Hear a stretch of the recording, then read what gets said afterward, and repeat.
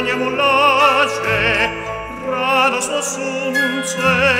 lo cinghia sa